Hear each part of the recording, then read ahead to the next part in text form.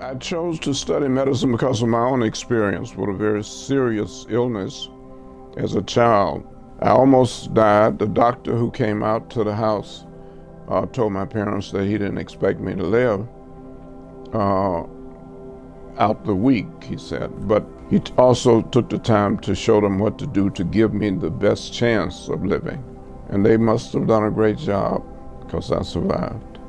So my experience here in Atlanta, including going to jail as a part of the student movement and going to prison on one occasion, uh, had a lot to do with my development and my uh, attitude toward medicine and toward the civil rights movement.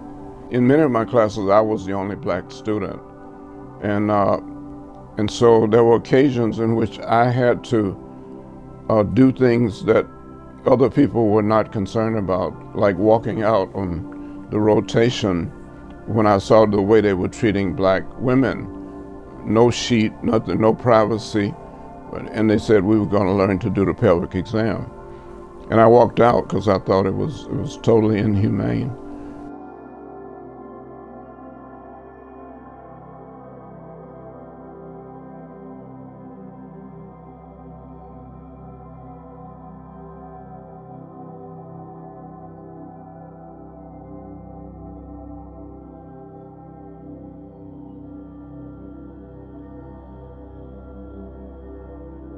I had an opportunity to work with leaders at the institution because I thought there ought to be more people than myself that could be called upon to step in a leadership role like that. So I, I decided that maybe the, the strategy for developing leaders is, was something that I should invest more thought and time in. And so as a result of that, we started the uh, Satcher Health Leadership Institute.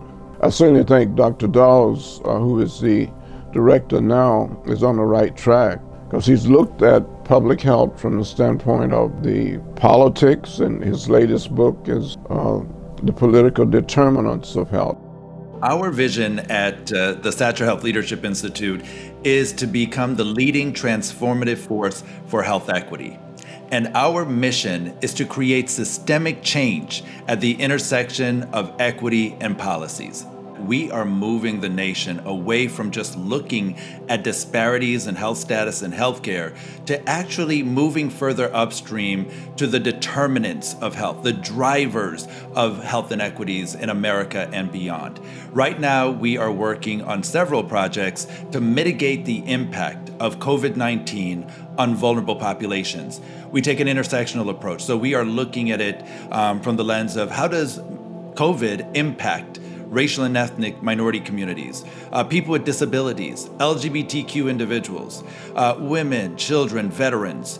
And we are working, harnessing that power of collaboration with partners across the United States, in the US territories, in tribal nations, to effect the changes that are necessary to move the nation further upstream and to move that needle of health equity to a degree that we have not been able to before. Creating a health equity tracker with Google.org, Gilead Sciences, CDC Foundation for all of these vulnerable populations so that they stand a fair chance to not only survive this pandemic, but thrive moving forward.